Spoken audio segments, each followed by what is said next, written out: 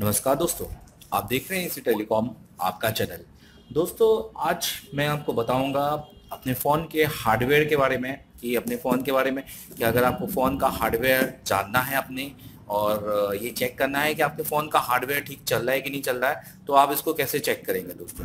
तो ये वीडियो आपके लिए काफ़ी फ़ायदेमंद बैठेगा। आप, मैं आपको, देखिए, सबसे पहले मैं सैमसंग के बारे में बताऊँगा कि सैमसंग, मान लीजिए आपको ये पता करना है कि आपका फ़ोन ओरिजिनल है कि नहीं है, आप कैसे पता करेंगे कि आपका फ़ोन ओरिजिनल है तो उसके हार्डवेयर चेक करके आप इसको पता कर सकते हैं कि आपका फ़ोन ओरिजिनल है कि नहीं है। तो ये सारी चीज़ें आपको मैं बताऊँगा, जिसमें एप्स के थ्रू भी मैं आपको बताऊँगा और सीक्रेट कोड के थ्रू। देखिए दोस्तों, सबसे पहले बात सैमसंग की कर रहे हैं। तो इसमें जो सीक्रेट कोड मैं यूज़ कर रहा हूँ तो वो है star hash zero star hash तो यही सीक्रेट कोड आपको यूज़ करना है, ये स्क्रीन के सामने आपको दिख रहा होगा। तो जिसमें आपको इस तरह की, जिसमें इस तरह का आपको एक स्क्रीन दिख रहा होगा, जिसमें कुछ खाने बने हुए हैं। तो ये बेसिकली ये आप इससे अपना हार्डवेयर को चेक कर सकते हैं। मान लीजिए अगर आपका हार्डवेयर सही काम नहीं कर रहा है तो देखिए अगर ये रेड है, जैसे अगर मैं इसको दबाता हूँ तो अगर ये सही काम कर रहा है तो रेड रेड ही आएगा। मतलब ये सही काम कर रहा है। ग्रीन दबाऊँगा तो ग्रीन आना चाहिए मतलब डिस्प्ले सही काम कर रहा है और ब्लू दबाऊँगा तो ब्लू मतलब ये डिस्प्ले की चेकिंग हो गई दोस्तों।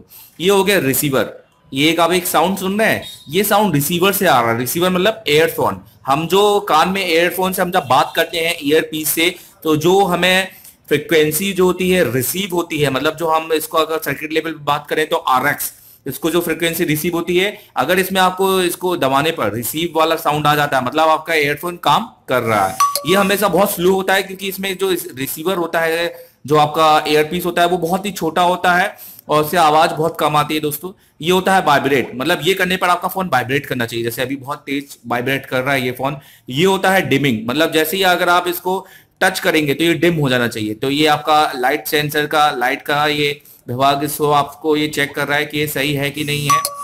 अब इसके बाद में चेक करते हैं। देखिए दोस्तों, ये हो गया मेगा कैम मेगा कैम मतलब आपका रेयर कैमरा तो आप इसे रेयर कैमरे से आप इसे फ़ोटो खींच के देखिए कि आपका फ़ोटो खींच रहा है कि नहीं खींच रहा। तो ये कैमरे की चेकिंग हो जाएगी दोस्तों। जैसे ये देखिए इसने फ़ोटो खींच लिया है मतलब ये कैमरा इसका बिल्कुल सही है। अब देखिए रेयर कैमरे के बाद में सेंसर सेंसर अगर देखिए इसमें क्योंकि तीन ही सेंसर हैं एस्केलोरोमीटर प्रॉक्सिमिटी मैग्नेटिक सेंसर और तीनों सेंसर वर्क कर रहे हैं, जिसमें प्रॉक्सिमिटी सेंसर है, अभी उसमें ज़ीरो है, कोई ऐसे नहीं बता रहा क्योंकि अभी प्रॉक्सिमिटी सेंसर वर्किंग में नहीं है दोस्तों।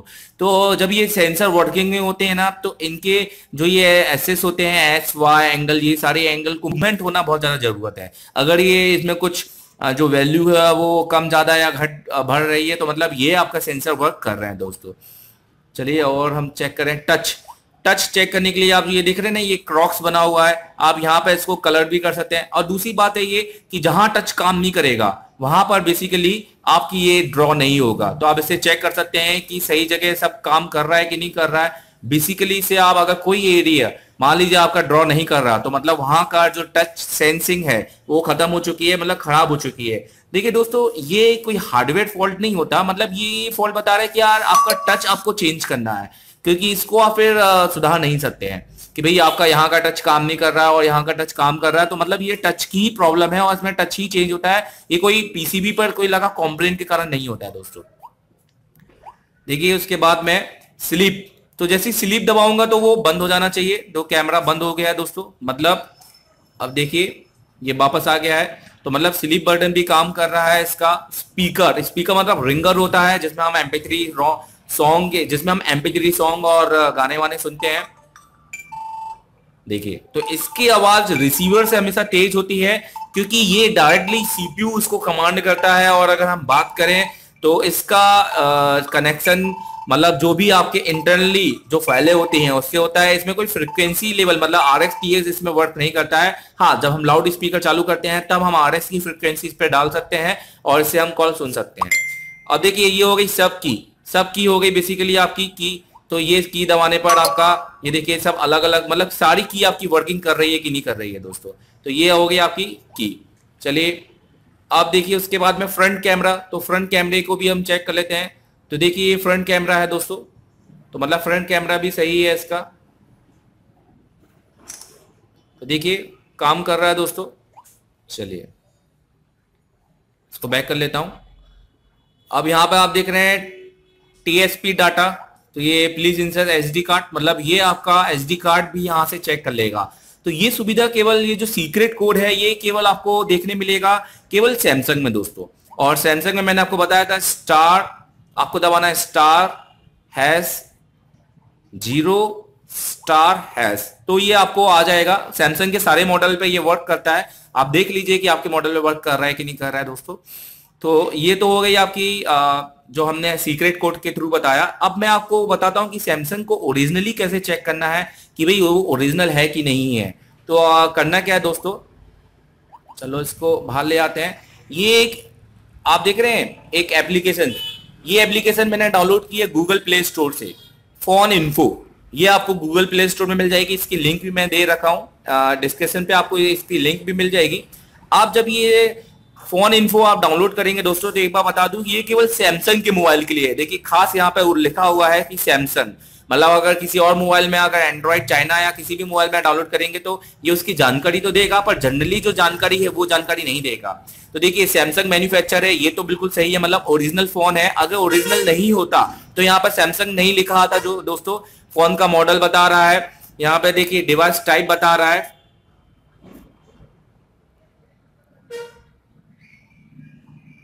अच्छा और देखने पर देखिए मेड इन इंडिया तो यहाँ पर हम बात करें मैन्युफैक्चर डेट भी आपको देखने मिल जाएगी। मतलब ये ओरिजिनल है। और वारंटी विद नॉट फाउंड है तो वारंटी फाउंड नहीं कर पा रहा है।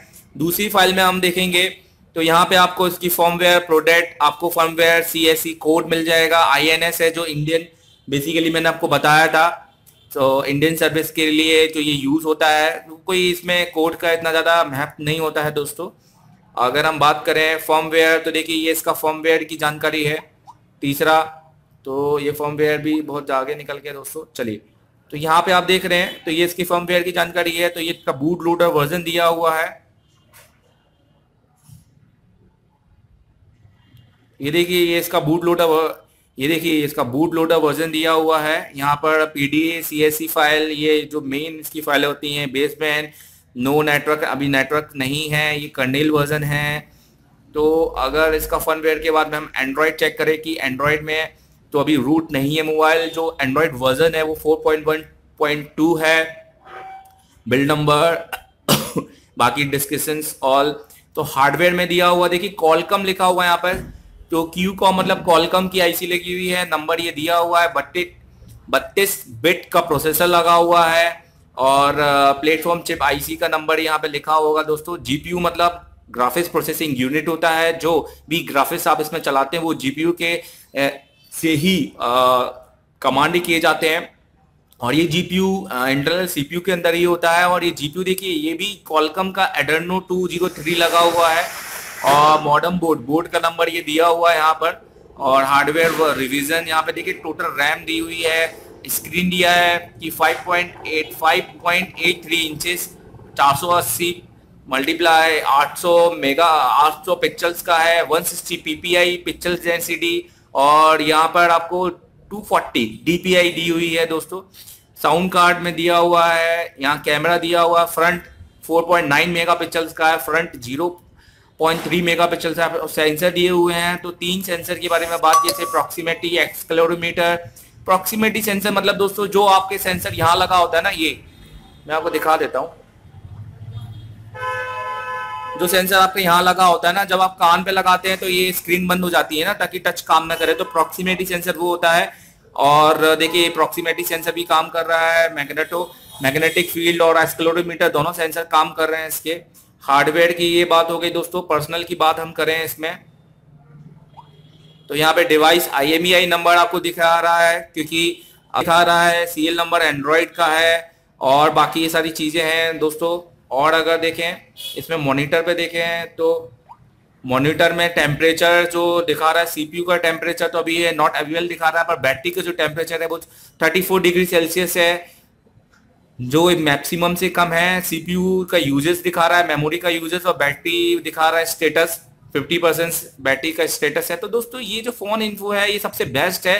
ये आपके सैमसंग के लिए। एटलीस्ट ये यहाँ पर आपको बता देगा कि यार ये आपका फ़ोन ओरिजिनल है कि नहीं है क्योंकि अगर ओरिजिनल नहीं होगा दोस्तों तो मैन्युफैक्चर सैमसंग में लिखा बिल्कुल नहीं आएगा।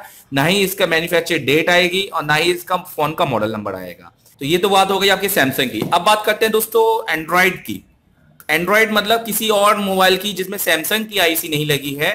मतलब जिसमें जो सैमसंग का मॉडल नहीं है जैसे माइक्रोमैक्स की बात करें तो इसमें आ, कौन सी आईसी लगी है? क्या हमें बिना खोलने पर पता चल जाएगा? क्या इसमें कौन सा हार्डवेयर यूज़ हुआ है? इसमें रैम कितनी है? ये सारी जानकारी हमें बिना फ़ोन, बिना खोले पता चल जाएगी दोस्तों। हाँ बिल्कुल पता चल जाएगी।